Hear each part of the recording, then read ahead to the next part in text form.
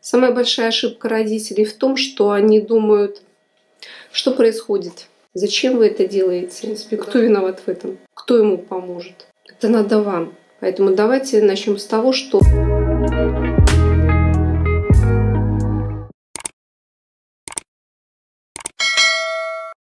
Думаю, нашим родителям будет интересно познакомиться с индивидуальным практическим опытом логопеда Никитина Елены Владимировны, то есть меня. Это обычная работа логопеда, просто когда нас учили в свое время в институте, практической части уделялось большое количество времени. Все занятия, которые а, и упражнения практически увидеть, они направлены именно на постановку звуков у детей с моторной алалией. Как он занимался первое время дома? Сколько времени вы тратили на домашние задания? Ну, первую неделю я мучилась и я, и ребенок, потому что было заметно, что ребенок не привык э, ни к каким занятиям, то есть ребенка не было, невозможно было усадить за стол элементарно просто что-то сделать. Э, задание, домашнее задание, которое в принципе занимает минут 15-20, у нас уходило на него 2, 2 э, часа. Э, потому что, ну, просто ребенка было не усадить. Он не хотел делать, он не хотел брать карандаш, он не хотел, ну, было не заставить. Хорошо, сколько времени прошло после занятия?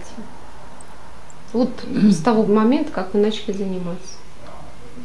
Ну, почти два месяца уже. Так, что сейчас изменилось? Ребенок с удовольствием занимается, ребенку нравится заниматься, домашнее задание выполняется с радостью, эм, ребенок начал, он понял, что он может, что он хочет, он начал повторять слова, повторять звуки, пытать, ну да, повторять, повторять многие слова. То есть у него появилось желание разговаривать? Да. Когда он говорит, он смотрит вам в лицо? Да. Все время. Как вы думаете, почему?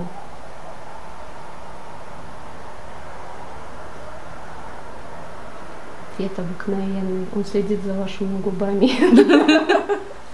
Тотя не на на на. Что сказать мне? Пока. Пока. Спасибо. Паши.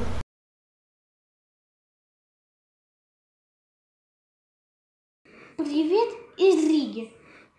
Меня зовут Олег. Мне 10 лет.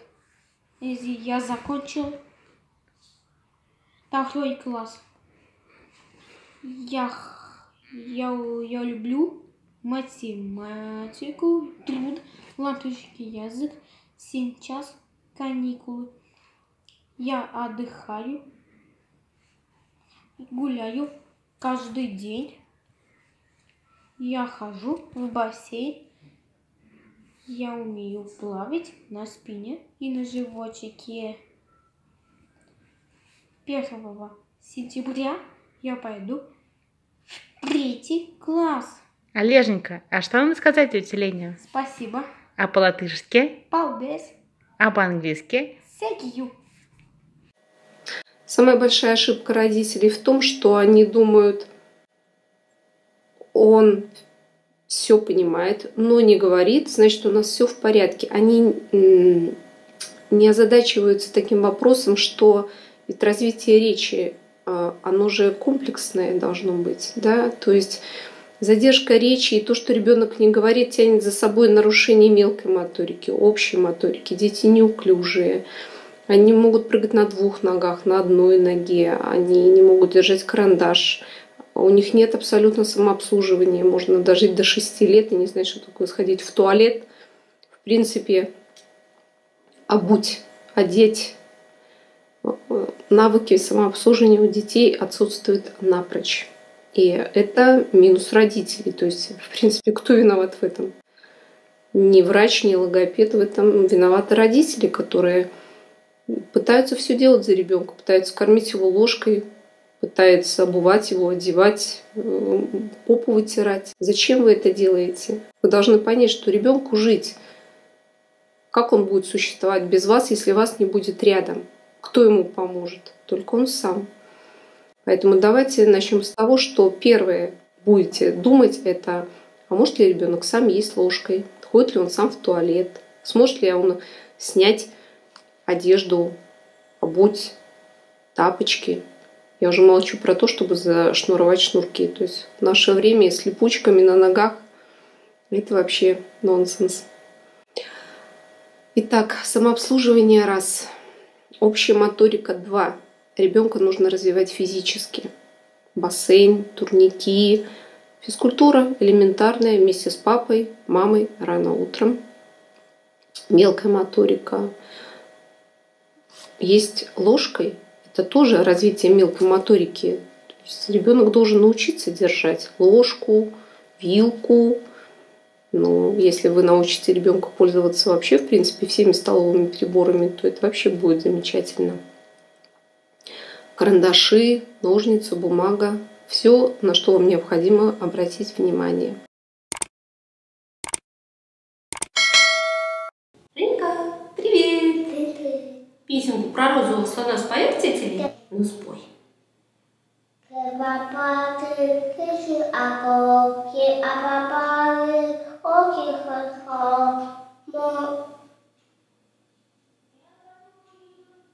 Чего дальше? Никики, пусы, акау, кики, киши, киши, опа.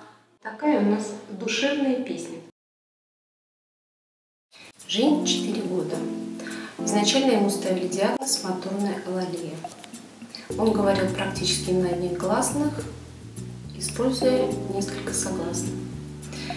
На данный момент уже не фонетика фонематическое недоразвитие речи. В чем оно проявляется? В замене существующих согласных, в искажениях, перестановке слогов. Но уже не это уже не так явно проявлено. Мы видим результат работы за полгода с одним занятием в неделю и бесконечной работой мамы дома. Оговорку на звук Р. Ра. Ра, ра, ра. Рама, рак, кара, нара. Ро, шо, шо. Рот, Роза. роза, рот. Роща. роса, рот, перрот. Ру, ру, ру. Руки, рузя, кенгуру. Ры, ры, ры. Рыси, Рыба. рыба, рысь, Рыжик. рыжик, рыба, Рысь. рыси, Рыбак. Ры-ры-ры. Рыба. Рыжик. Рысь. Рыбак. Поехали. ры, ры, ры, рыба, рызы, рыс, рыбак, Рысь. рысы, рыбак. Вы должны перестать целовать его в попу, потому что зачастую дети, не говорящие, они становятся очень плаксивы, раздражительные, они истеричные, они могут посреди улицы упасть и плакать.